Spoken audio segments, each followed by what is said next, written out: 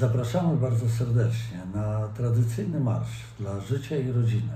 W tym roku odbywa się jak zawsze w Warszawie 16 czerwca o godzinie 11.30 rozpoczynamy mszę świętą w kościele świętego Aleksandra na placu Trzech Krzyży i stamtąd wyruszamy w kierunku placu Zamkowego. Będzie wiele ciepła, radości, uśmiechu, bo przecież to marsz rodzinny, a tym razem pod hasłem szczególnym.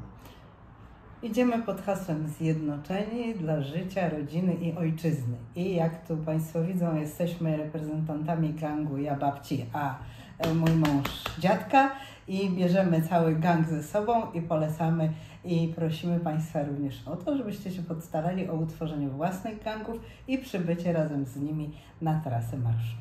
A więc do zobaczenia.